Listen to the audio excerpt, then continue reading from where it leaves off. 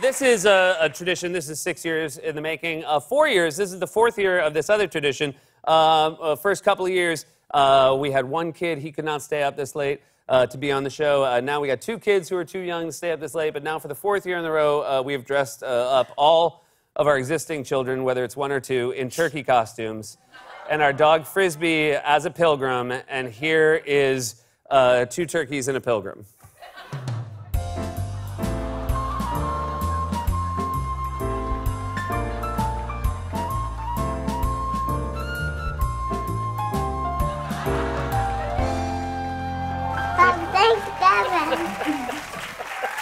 There it is. Now, um, and we obviously uh, will send videos. Uh, face you FaceTime with the boys. Uh, you sent a video to Ash. Uh, he's still a little traumatized. Yeah, Uh, well, so am I. yeah. Um, Explain first where you were. Don't quite explain what happened in the video. We'll let that be. sure. Well, my uh, my girlfriend's an equestrian, and she works at a barn uh, in Malibu.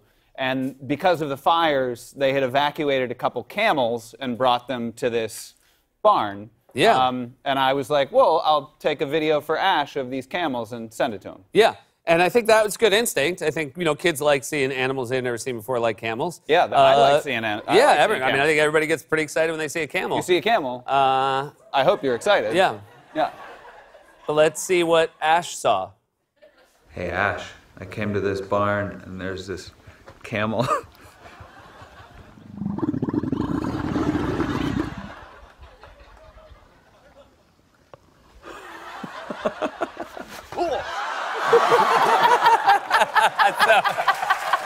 Safe to say, he will not.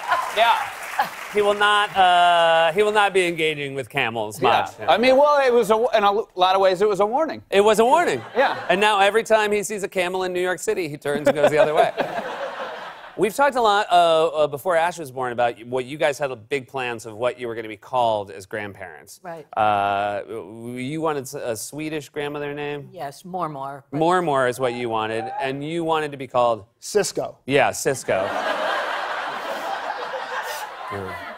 And uh, uh, the, it didn't take. Neither of them really took. No. No. But then you ended up with uh, a grandparent names that I think are almost, I mean, equally as unique as More More and Cisco. Oh, better. Yeah. Which is uh, early on, he couldn't say uh, grandparents. He couldn't say grandpa or grandma. And so instead he said Panka. I was Paka, Paka Yeri. Ponka. Ponka. Ponka. Ponka Yeri. And uh, I'm Paka Hurry. Ponka Hurry. Ponka Hurry. Which seems like some weird Eastern European grandma grandpa name. Right. But he refers to you collectively as the Ponkas. Yeah. Yes. And uh, it's pretty great because... It is pretty great. Yeah. Well, because when people overhear him saying like, you know, where oh the Ponkas are coming, I think people picture some real old world. like the Cossacks or something. yeah, the Cossack, like that you're gonna show up with like Oh, pulling yes. pulling a cart behind you. Yeah, Ponkas, they will be here later tonight. yes. Lady Ponka, man Ponka. it's good. It's good, yeah, good Ponka. Full moon is good omen for Ponkas.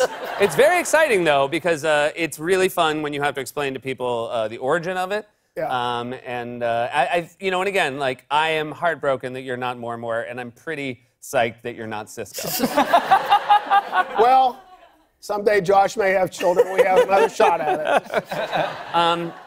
There is one thing, you know, having two boys, uh, and, and our kids are uh, exactly the same amount of time apart as you and I, two, years, and 11 days. Yeah. Which is crazy.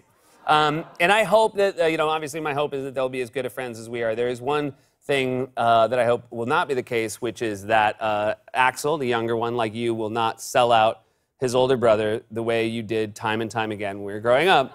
Most famously, I- I- most we like- famously, We like rules. we like rules in our family. We I had a I had a, a serious orthodonture in my youth, up to and including a headgear that I had to wear at night. Yeah. There was no Invisalign. No, back in the day, Invisalign was not a thing. there was heavy gear, and um, and it was uh, I was not getting we were not getting the results we wanted from my orthodonture. No, and the orthodontist was berating me. Yeah. He said, implying that I wasn't, uh, you know, exercising Vigilant enough enough, yes. parental control. How'd you take that? I didn't take it. Yeah. to the point that to um, basically to encourage me to wear my headgear, uh, you offered Josh money Yes. if he could catch me sleeping without it. Yes. Because Josh, when he was little, he would do anything for money. and so I said that if Josh could catch Seth without his headgear, Seth would have to pay him a dollar. Yeah. And You'd It wasn't- pay. It Yeah, wasn't, I would come out of my allowance. it Yeah. wasn't headgear. What did we call that? Right. We again from the family that brought you ponkas. We we called my headgear my gummy. a gummy. Yeah. And Josh, what was your? Uh, who were you employed by in these years? Uh, the Gummy Patrol. Yeah. Yeah. I was the Gummy Patrol working for a, a shadow organization who I can't confirm or deny who it was. And so, can you give uh, just give a normal take of how the Gummy Patrol would work and how it would go for me? well, I would see my target Yep. brushing his teeth. Yeah. And I would go into his room and hide in the closet Yeah. or under the bed. Yep. Uh, In a drawer? In a drawer. I, was, I was really small. Under the desk. And then, as soon as the lights would go out and it was confirmed that my target was supposed to be sleeping, I would pop out and scream, Gummy Patrol! Which would be heard by them in their room, and Yeah. then it would be like, dollar. And I do want to uh, stress all these years later um, the trauma for me doesn't come from losing a dollar. the trauma comes from you jumping out of my closet and screaming Gummy Patrol. And to this day, I can't sleep without a nightlight, a full grown man. Well, you're on television, your teeth are pretty straight. I don't know if they would be without me, so I feel like. This is a very